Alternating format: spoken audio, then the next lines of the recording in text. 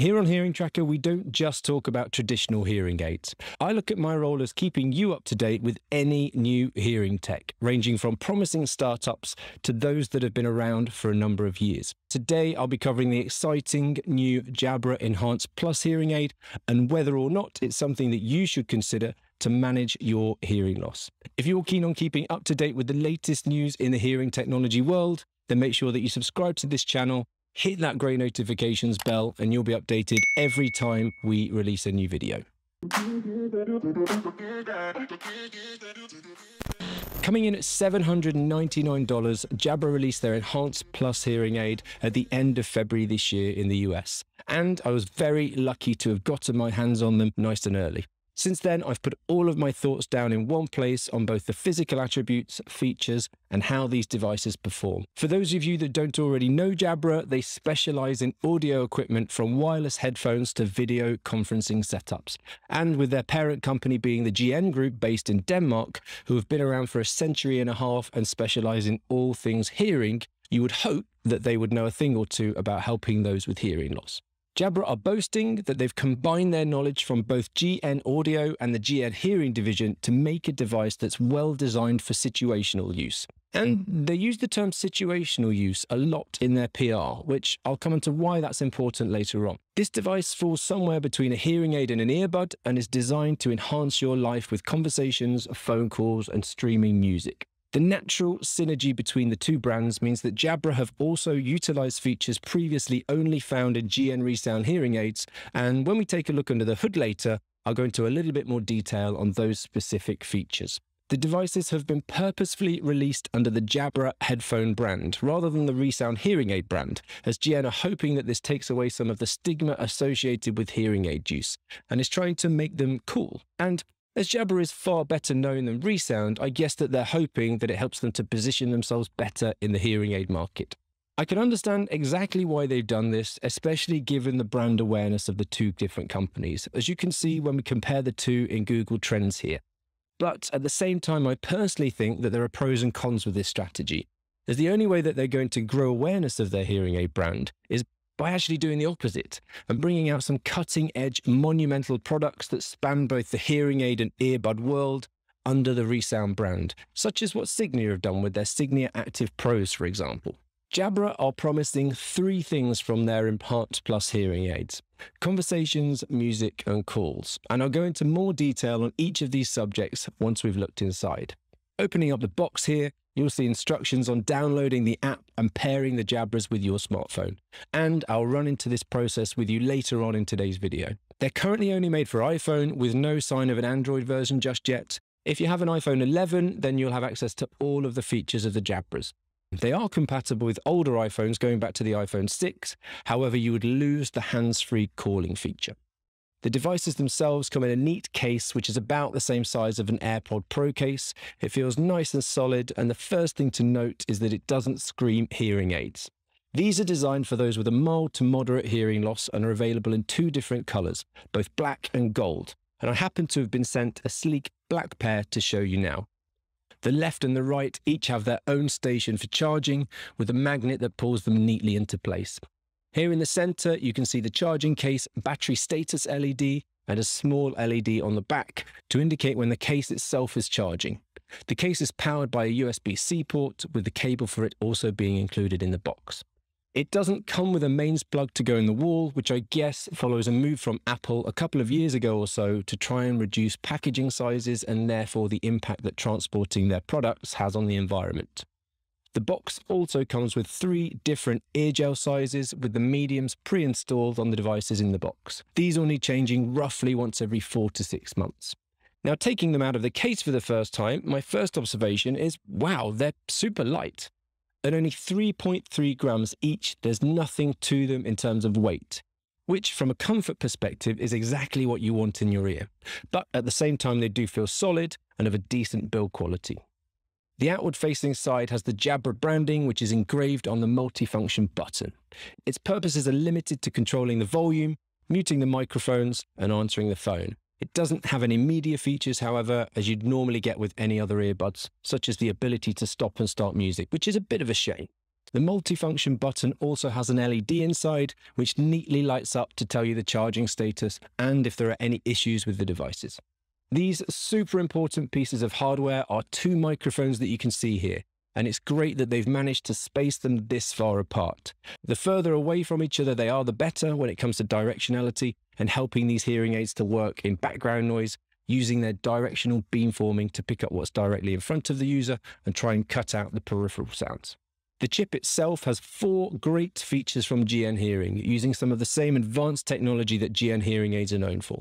First of all, the warp compressor feature means that sounds are analysed with a resolution similar to that of the human ear for a natural sound quality. The digital noise reduction improves listening comfort for both stationary and impact noises, whilst aiming to keep speech as clear as possible. Then in noise, an appropriate level of noise attenuation is automatically applied based on the user's environment. The digital feedback suppression is maintained with two control systems, preventing the tech from whistling. And the final piece of shared technology is their binaural beamformer, which provides directionality with an ultra narrow beam, isolating sounds coming from in front so you can hear clearly in more noisy listening environments. One thing to note is that I do think it's interesting that they've chosen to go with the popular earbud style instead of a classic earphone style such as with AirPods. The reason that I mention this is that if Jabra are serious about being used to enhance people's hearing and to appeal to the masses, then they must understand that the downside of this means that they're more likely to completely block your ears, and therefore for the user to experience what we call the occlusion effect. Typically, with an age related hearing loss, the user would have good hearing in the low tones and want to keep the ear canals as open as possible for a more natural way of listening. My worry is that it will feel like you've got your fingers stuck in your ears and may not be the most comfortable for when you're speaking or eating, with the effect being that you'll be able to really feel your own voice booming and trapped inside your head. There's the potential that this will significantly limit those that will benefit from wearing the enhanced pluses. To counter that, there are a couple of benefits of wearing hearing aids that do occlude your ears a little bit more. First of all, if the ears are completely occluded, then it can result in better hearing in background noise, as all of the sound that reaches your eardrum is being channeled through the hearing aid, and the hearing aid can clean up the signal. Whereas with a loosely fitting tip, there may be sound creeping through which the hearing aid hasn't cleaned up, and therefore could make it more challenging to hear in a noisy environment. The second benefit of more occluded ear canals comes down to the sound reproduction when streaming. As the tighter the fitting, the better the bass response you'll get. So the sound in theory should have more fullness, richness and depth to it. The battery life is rated at 10 hours on a single charge and 30 hours with the charging case. Compared to a set of Apple AirPod Pros, that's pretty awesome as a full charge on them will really only give you four and a half hours of listening time. I do think that the disappointing factor here, however, is that if you adopt these as hearing aids, of course, if you start wearing them at 8 o'clock in the morning, you don't want them to be dead by 6 in the afternoon. Whereas any actual digital hearing aid that's out there at the moment will give you around 24 hours of battery life for a three hour charge, including those currently made by GN Resound. I'm not exactly sure why Jabra have done this, as it's kind of an obvious thing for me to get right from the beginning. However, saying that, I also reviewed Olive Union's Olive Pro OTC devices a few months back, and their battery life was only seven hours. I mean, come on, guys, if you want to play with the big dogs, then you've got to get the basics right. I do think, however, that Jabra think they've got it right, as this is where the situational use that Jabra talk about comes into play. And maybe they're not designed to be used all the time. I guess Jabra's idea behind these devices is for them to be used as and when you need them, which is kind of everything against we're taught in audiology, with rehab and commitment to wearing hearing aids being crucial for them being a success. That's why any audiologist, ENT, or general practitioner will tell you to wear your hearing aids as often as possible for maximum benefit. Very simply, this just helps the brain to retrain to get used to a new way of processing information. It's way different to putting on a pair of reading glasses and all of a sudden being able to read. There's a lot more commitment and time necessary for acclimatization. So the big question is, where can you get these devices and how do you personalize them? The Enhance Plus is currently only available in the US and Japan, and it's Jabra's first venture into the direct-to-consumer or over-the-counter device world. However, there is a bit of a twist. They're not quite direct-to-consumer just yet. The world of direct to consumer and over the counter devices is still in its birth, and because there are no real case studies on how these products will work in practice, plus the FDA still have strict rules on the dispensing of hearing aids, Jabra have erred on the side of caution and incorporated audiologist within the fitting process. They've also been quite clever. The current path to getting your hands on these devices is via their certified Jabra Enhance Centres the majority of which are Beltone, the national hearing aid retailers who currently have over 1,500 practices across North America.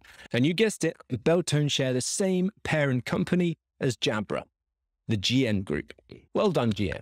Well done.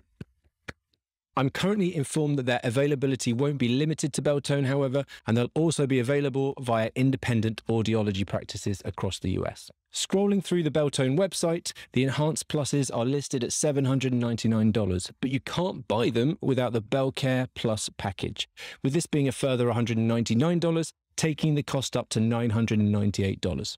This includes a hearing assessment, which is currently required if any product is sold as a hearing aid.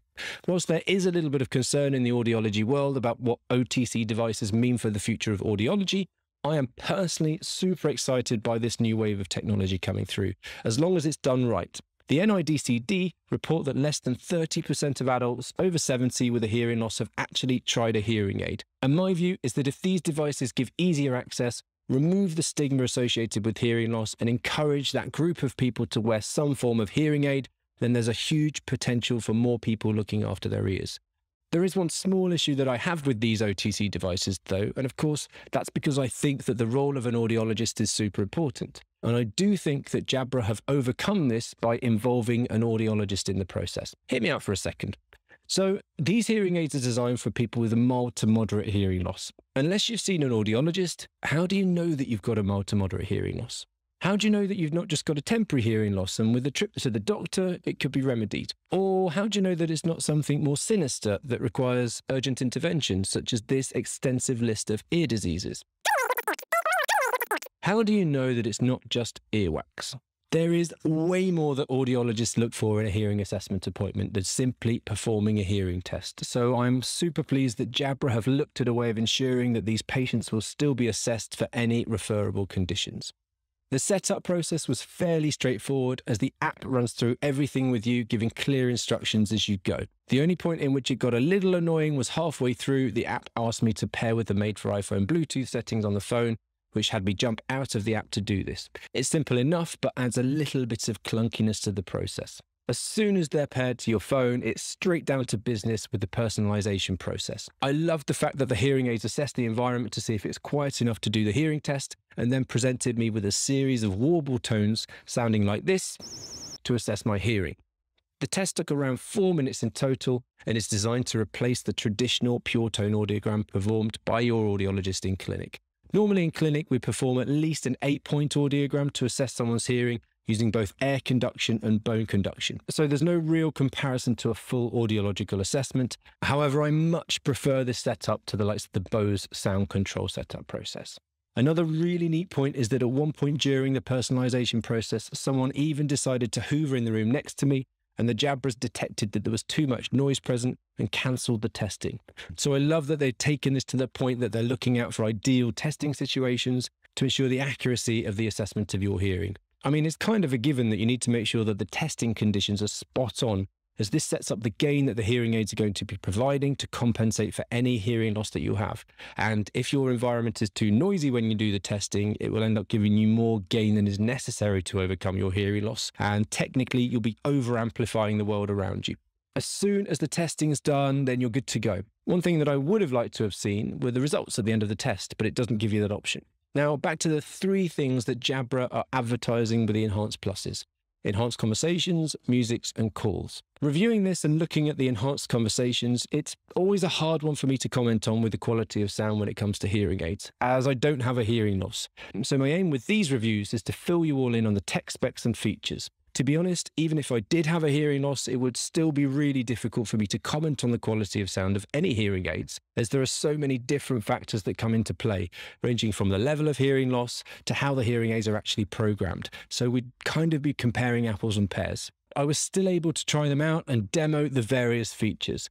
And the speech filter definitely makes a difference to the sound for both speech and stream sound, going from full, which adds more depth and bass to the sound, to clear, which adds more treble and definition.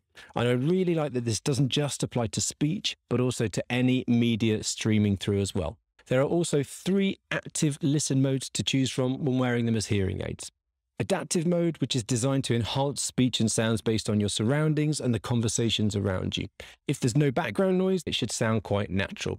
However, in noise, this mode should lower the volume of your surroundings to enable you to hear the person talking in front of you.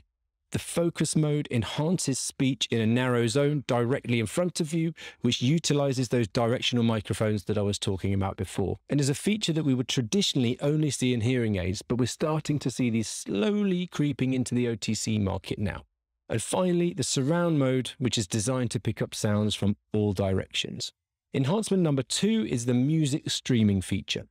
So when I tried streaming music from my phone to the hearing aids, I'm afraid to say that it was a little disappointing, as I wasn't as impressed as I would have hoped to have been based on Jabra's reputation. So despite my ears being fully occluded using the ear gel, so a really nice fit, I still found that the bass was really lacking. The sound was just over compressed and flat, and the range just seemed limited, and there wasn't very much detail. So yes, they did a job, but definitely not $998 worth of a job comparing them to the likes of my over the ear Bowers and Wilkins headphones or even AirPod Pros, I mean, there just wasn't any comparison. Perhaps the lack of detail is down to the headphones using the low energy form of Bluetooth, or maybe my expectations are just too high.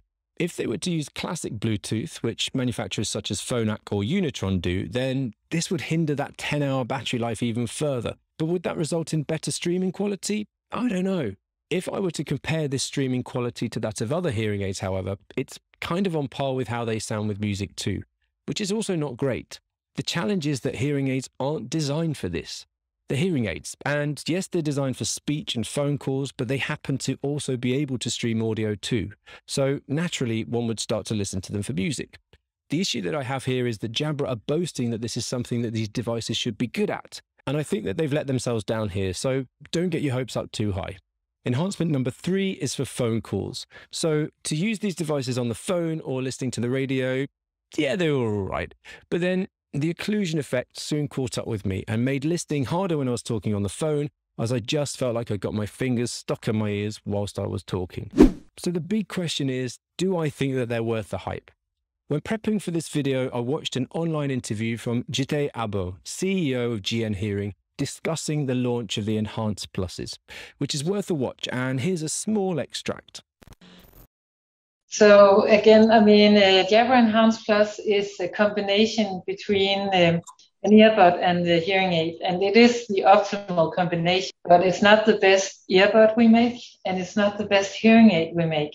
So clearly it does not compare, for instance, to ReSound One, which is uh, obviously designed for full day use and can cover, you know, from uh, mild to more profound hearing loss. This is a, situ- a device that you use in certain situations. For example, for example, the dinner party where you are struggling to hear everybody around the table. In my opinion, I think that they're trying very hard at being good at two different things, but I think that they've achieved neither. Whilst I'm desperate for something to come out that will fill this void and help those with an unmanaged hearing loss that are not keen on wearing hearing aids, I'm still split as to whether or not this is the right solution. I really hope that those providing the enhanced pluses offer trial periods, as is standard with traditional hearing aids, so that you can really put them through their paces in the situations that you struggle with before committing to them. If you've tried them, I would absolutely love to hear your feedback in the comments to this video. So I hope that you found this video useful, guys. If you liked it, please hit like. If you have any questions, then make sure you drop them in the comments below and I'll get back to you as soon as I can. And if you haven't subscribed yet, then make sure you do so. I'll see you in the next video.